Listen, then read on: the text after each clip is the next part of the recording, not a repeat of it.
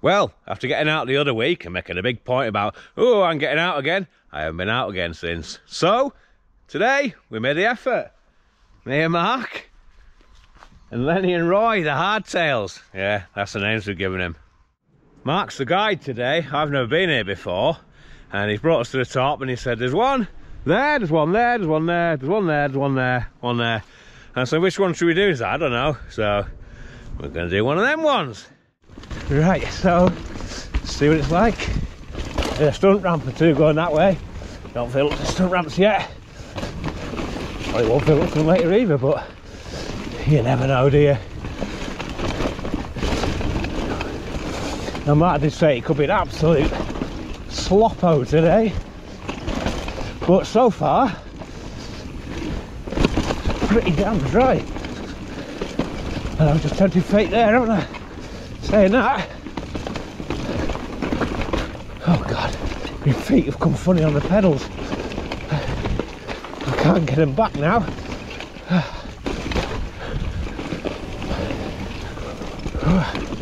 Woohoo! Very nice.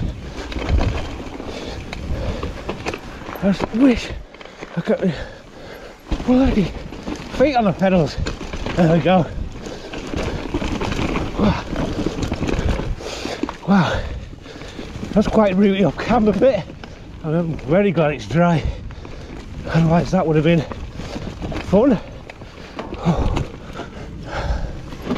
Ah, yeah, lovely. Very nice. Happy days. So, we're coming to a name trail. I think this is it. So I've not said where we are yet. Not decide whether I will or not. Really? Wow. Yeah, that's quite droppy. And here's the name trail.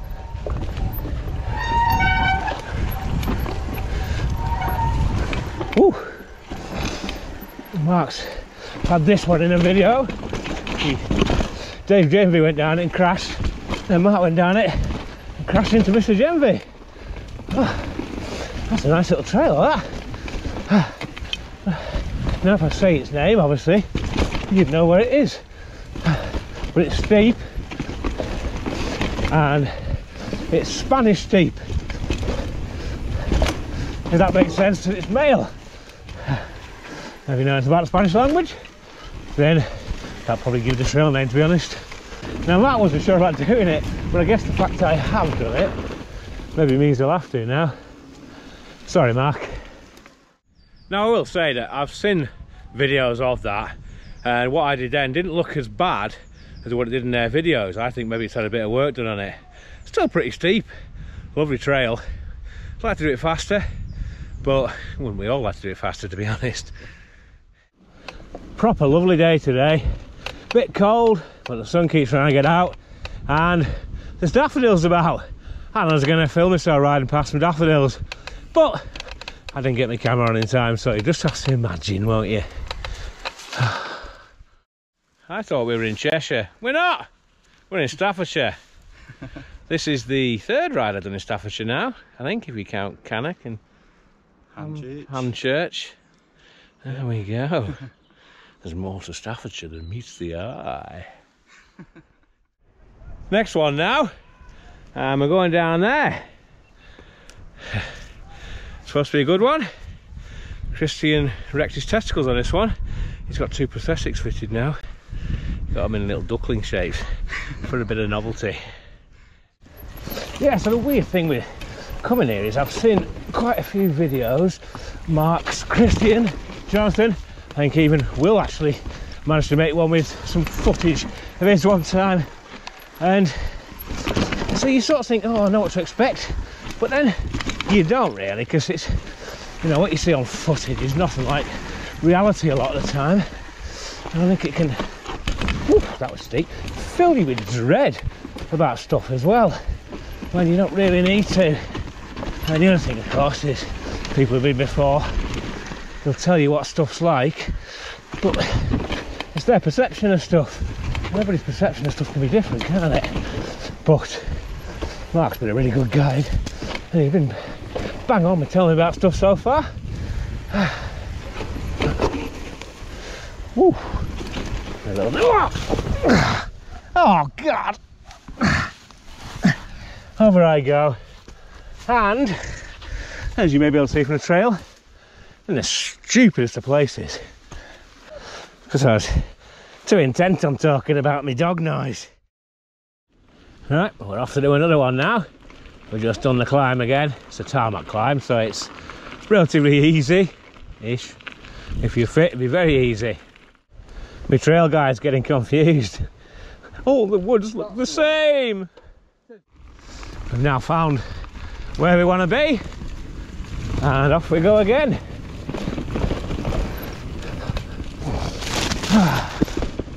I really do love riding new places. It's so much fun. Just that anticipation, even was a small element of nerves. That was a bit lumpy. There's another one there behind. So look at that. Silly Billy me thought I spotted something else. There was something else. It was something unrideable. So we're off to do it again to see how we get on.